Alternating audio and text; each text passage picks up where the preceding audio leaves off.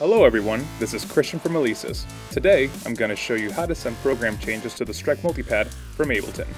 This will be extremely helpful if you're running backing tracks from Ableton and would like your Strike Multipad to change presets along with your setlist, totally hands-free. Let's get started. Power on the Strike Multipad and press the utility button. Make sure you have the global MIDI channel set to 1, MIDI sync set to internal, unless you want to use Ableton as a source for MIDI clock the program change switch set to on, so the Strike multipad knows to receive program change messages, and the 5-pin MIDI to USB set to off. Finally, connect your Strike multipad to your computer via USB. Open a brand new Ableton Live set. Once you know how to do this on a new project, you can implement the changes into your other projects. Go to the Category section and select Instruments. Then click and drag external instrument into the empty MIDI track. This is how we will be sending MIDI out of Ableton and into the Strike multipad.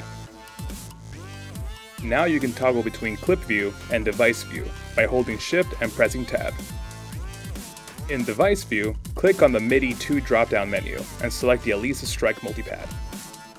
By default, the MIDI channel will be set to 1, which is what your Strike multipad is already set to at this point. If this is on any other channel, the Strike multipad will not receive the program change message. Make sure your MIDI track is record enabled, and double click on an empty box to create a MIDI clip. At this point, you should be in clip view and see the program change section of your clip. Preset kits are assigned to program changes 1 through 30, and user kits are assigned to 31 through 100. So if you want to select the first user kit, you will have to send program change 31, and so on type in 31 to the program change field. Make sure that the strike multipad is on another preset to make sure that it's receiving the program change. Play the clip and you should see your strike multipad change to the first user kit.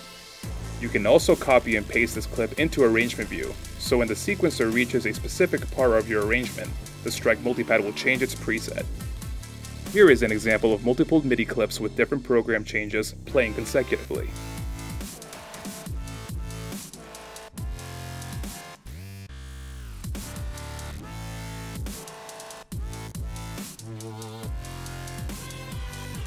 If you still require additional assistance, please visit the link at the bottom of this article to submit a support request or connect with one of our technical support representatives.